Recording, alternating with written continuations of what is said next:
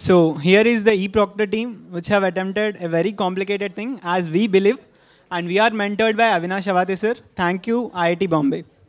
And a special thanks to Nitin Iyer sir, uh, Saurabh Verma sir, and Rajnikant Jangir sir for their extensive support to host the site and uh, helping us in all the technological aspects. These are our team members. There are nine people. Uh, he's Sir Reddy, he's Dipanshu, she's Kalyani, uh, he's Anmol, he, Anish, Hardik, and Shubham. One of our friend due to health problems cannot attend the presentation and uh, is Shravan due to health problems. So introduction to the e-proctor. We are attempting an online examination in which there won't be any manual proctor. So they, here arises the question, who does the authentication whether the student is genuine or not? So we have the solution that is face recognition which does the authentication of the student. Also, we have a fallback mechanism which doesn't allow the student to switch between the tabs. That will be uh, demonstrated in the demo uh, after a few point of time.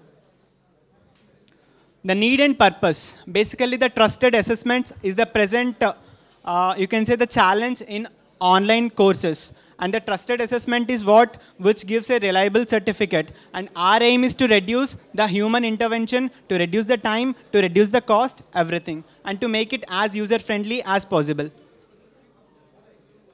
Security features. As you can see, authentication is done by face recognition. Beyond a limit, the face recognition becomes suspicious and it increases the frequency at which it takes the images and it will send to the server for manual verification. Next, optimum control of the device in the sense, as I have said earlier, if you're giving an exam, you can open the Chrome, you can search for answers, and you can mark them. That mechanism is completely prevented. If you go out of that tab, you, if you go out of the tab, there will be a uh, display that your test will be ended. So you cannot uh, switch between the tabs while you are giving the exam. And our software is non-intrusive. It doesn't interrupt uh, the user at any point of time. It will just give the color change option, which is uh, also a part of instructions which he has to carefully read at the start of the exam. Next, the metrics and the technologies, key technologies used in our face recognition. The total size of the project is 11.3 MB and the lines of code are 30,852. The languages used are these languages, HTML, CSS, etc. Database, we have used simple database, MySQL, and the libraries used for face recognition are OpenCV, digital image processing, and for as the device data is stored on student's device, we have used AES encryption technique, and we are sending simple JSON objects to the server. Test plan. And our application is unit tested separately for all the features which I have stated earlier.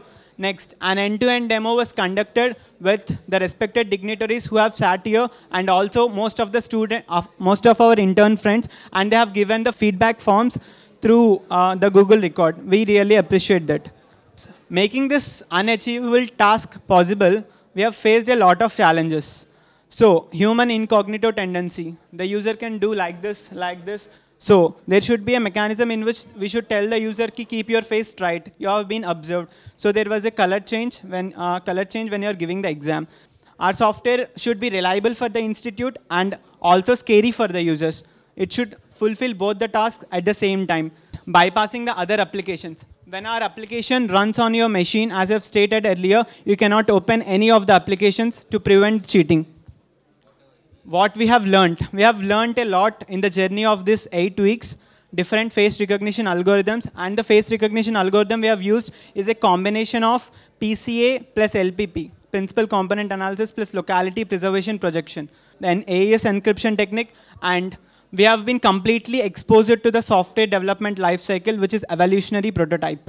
Uh, comparison between traditional eProctor and uh, normal eProctor. The main difference is that uh, there is no human intervention in our eProctor, and the traditional eProctor has a human intervention.